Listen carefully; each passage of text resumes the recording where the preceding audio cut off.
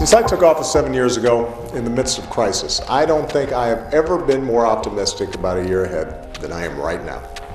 I keep thinking about the road that we've traveled together these past seven years.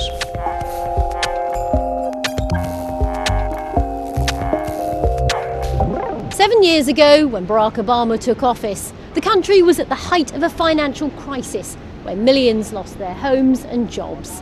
And abroad, the focus was on ending America's involvement in wars in Iraq and Afghanistan. Today, things look different. The economy is starting to pick up. And gay marriage is now legal. The healthcare system has been reformed. And the president now faces new challenges. Back then, no one talked about Islamic State. And the decades old issues of race in America have only recently resurfaced. Despite those challenges, the president was upbeat in last year's address. The shadow of crisis has passed, and the state of the union is strong. But how strong? Critics point out that the gap between rich and poor has widened, and efforts to bring in a minimum wage have stalled. And the president's day one pledge to close Guantanamo Bay still hasn't materialised. One of his former advisers says his policies have made a huge impact and that there's more to come.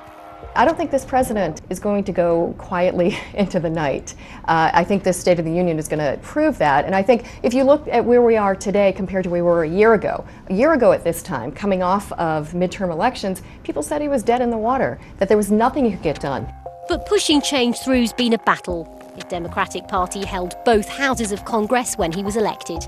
Now the Republicans do. Getting agreement in areas such as immigration and gun control has been tough. On guns, he recently used his presidential authority to bring in some changes, but critics say he's governed without compromise. The expectation when he came in was that he would be able to build that consensus.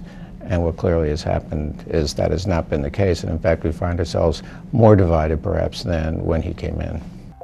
In just over a year's time, there'll be someone else in office, so this speech and the months ahead are President Obama's last chance to shape his legacy. White House officials say this State of the Union won't be a to do list and will focus on consolidating promises the president's already made. Rajini Vaidyanathan, BBC News, Washington.